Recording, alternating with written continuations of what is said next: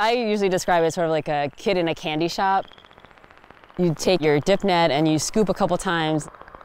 You first look and it just looks like there's just specks of dirt. And then you look closer and then you realize those specks are moving around and swimming and stuff.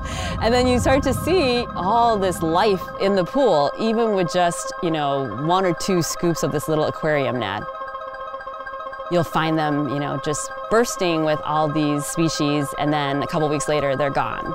And so I think of them as being these really magical places.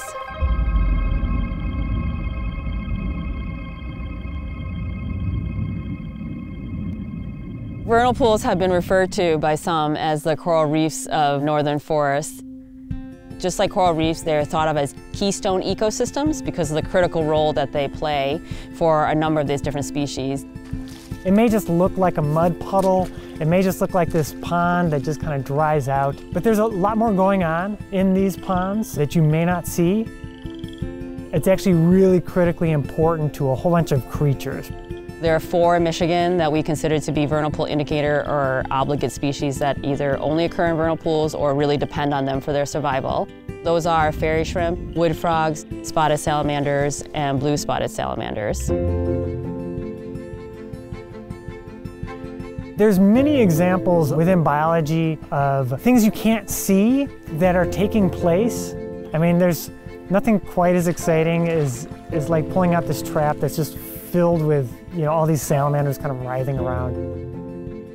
Because you encounter them so rarely in the greater environment, it's kind of fun to be able to see so many all in one place.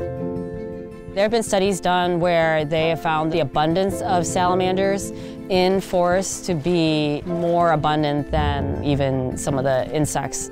So they're a really important part of the food web and part of the ecosystem.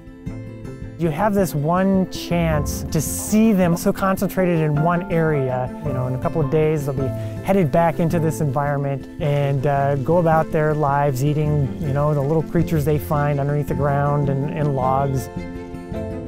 In a year from now, they'll be ready to party and head back on down to the ponds and we'll get a chance to see them again.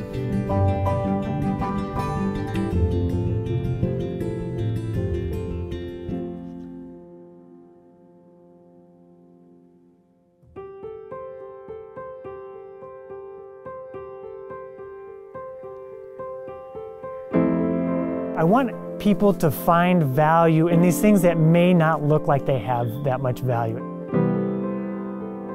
Without these ponds, you know, these salamanders can't survive. Some of these frogs can't survive.